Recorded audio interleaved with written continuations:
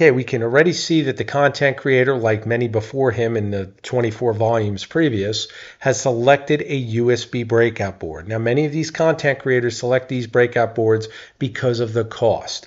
They think they're doing themselves a favor by having the accessibility of USB instead of using a parallel port because that's what many of them are trying to get away from.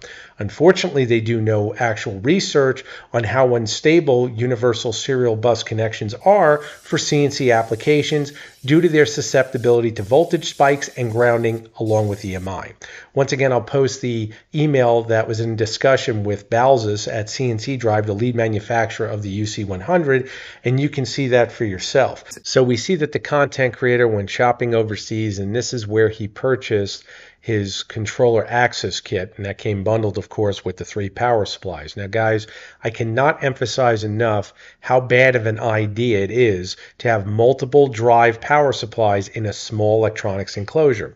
First and foremost, it's not required, and especially when we're dealing with sensitive electronics, all you're doing is when you're pulling more power, you're also releasing more electromagnetic interference, also known as EMI.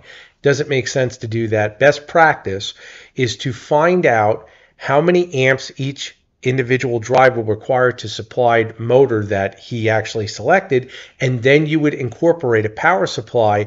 Pending of course it has the amount of amps required you would select a single power supply to power all of the drives.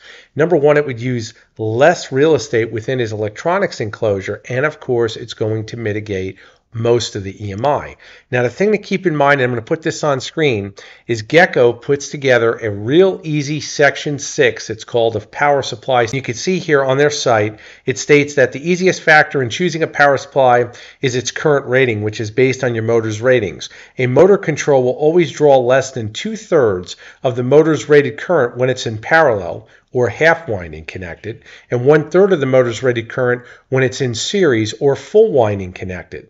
That is to say, and this is an example, a 6 amp per phase motor will require a 4 amp power supply when wired in parallel and only a 2 amp power supply when wired in series.